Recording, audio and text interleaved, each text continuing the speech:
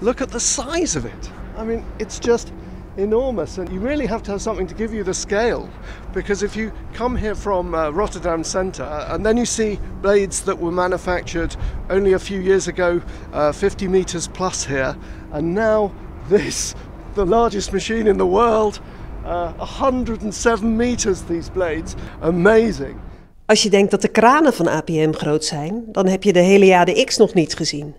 De grootste en krachtigste windmolen van de wereld staat op de Maasvlakte en krijgt iedereen enthousiast. Hij is prachtig. Het is een genot eh, als je hier aankomt rijden, je rijdt er rechtop af. Het is echt fantastisch mooi.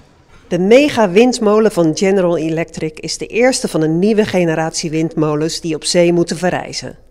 Hij wordt nu eerst op land getest en blijkt in een paar weken al heel succesvol. Hij heeft het uh, wereldrecord record elektriciteitsproductie gevestigd uh, recent door op 24 uur wel 262 megawattuur te produceren.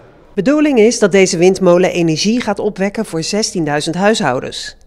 Eneco gaat die leveren, dus zij kijken met extra interesse naar de opbrengst van de Heliade X. Nou, het, is, het is onder andere de grootte, maar ook de lengte van de bladen. Die zijn 107 meter. Dus de diameter is ongeveer 214 meter, uh, wat ronddraait. Dat, dat zijn de wieken.